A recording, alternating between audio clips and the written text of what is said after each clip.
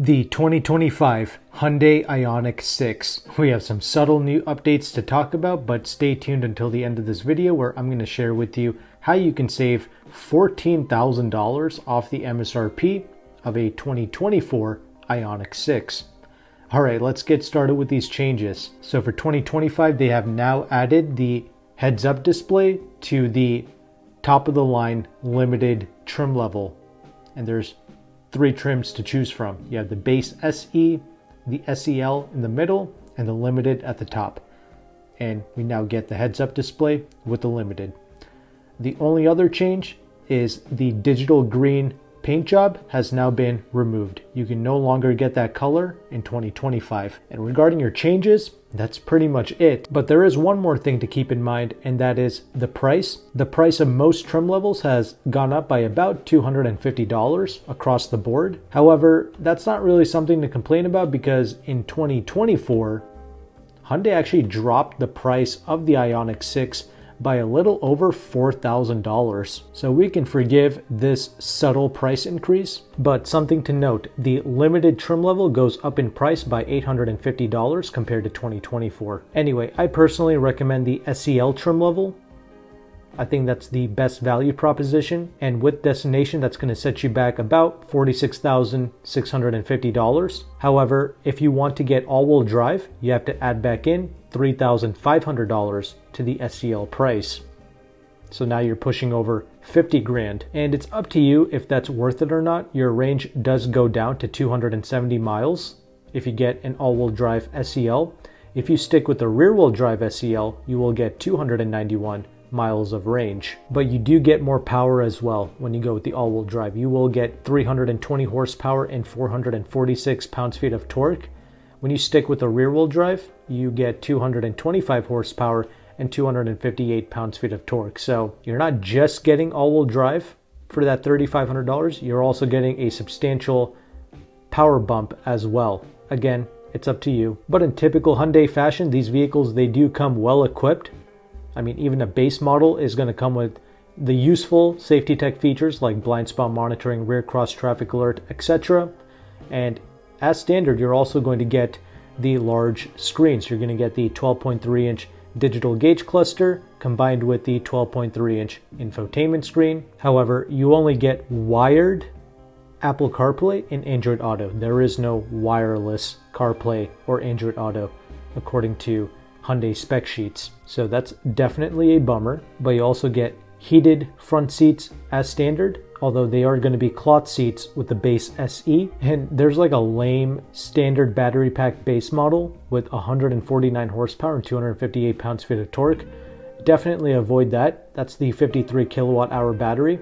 With that same base model SE, you can step up to the 77.4 kilowatt hour battery pack with once again that 225 horses and 258 pounds-feet of torque.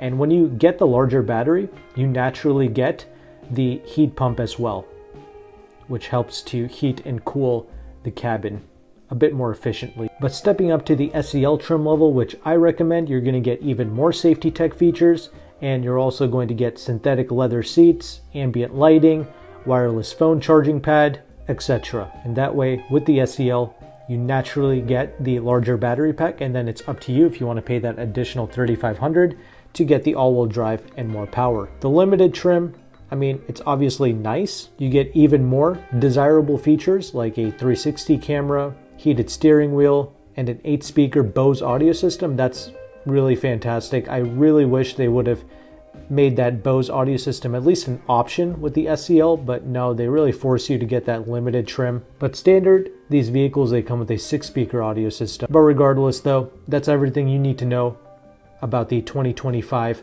Hyundai Ioniq 6. As promised at the beginning of this video, here's how you can save about $14,000 off the MSRP of a 2024 Ioniq 6 you can reach out to Auto Companion, who is one of the largest car brokers in the United States. Him and his partner dealerships in the Washington, D.C. area, they are offering between 5 to 6% off the MSRP of the Ioniq 6.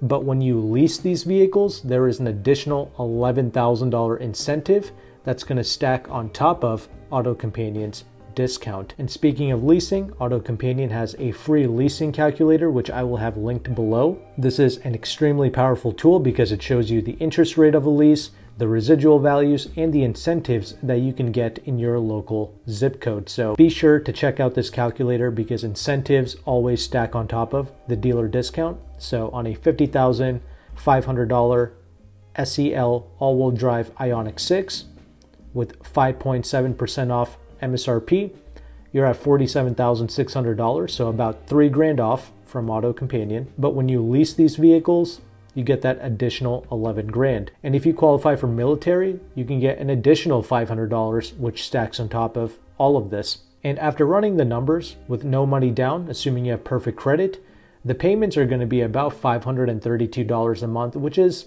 not cool. I mean, I get it. This is a $50,000 vehicle, but still, EV leases, they should always be cheap.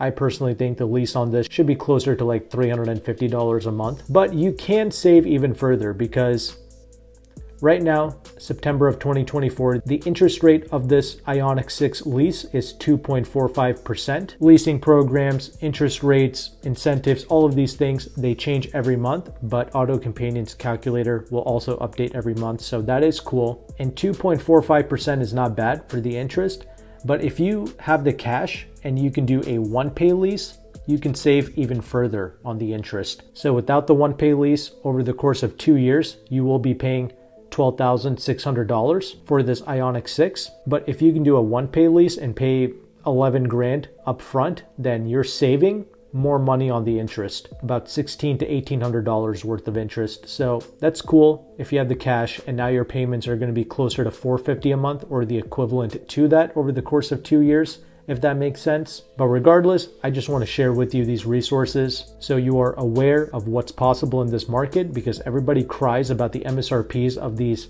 electric vehicles, but the reality is you don't have to pay anywhere close to the MSRP. This $50,000 vehicle, you can get it for about 36 grand with all the discounts and incentives. And if you want to work with Auto Companion, he is located in Washington, D.C., but he can also ship these vehicles nationwide, but shipping is something you have to pay extra for. I've shipped two vehicles with Auto Companion and never had an issue. The process was always super smooth and super easy, and you don't have to deal with any of the dealership shenanigans and the manipulation tactics. You just chill in your house. They FedEx one day ship the papers to you, and then you just ship it back with their prepaid label they look over it, make sure everything is good, and you're able to set up the shipping through Auto Companion. And that's it. But Auto Companion does charge a broker fee for his service, but for most of the vehicles that he has to offer, it's a thousand percent worth it.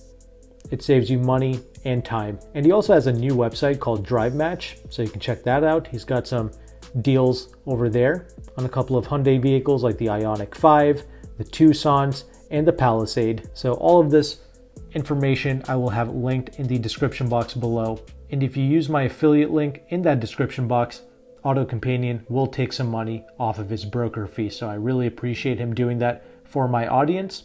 And if you found value with this content, make sure to like and subscribe. Thank you again for watching. Take care and goodbye.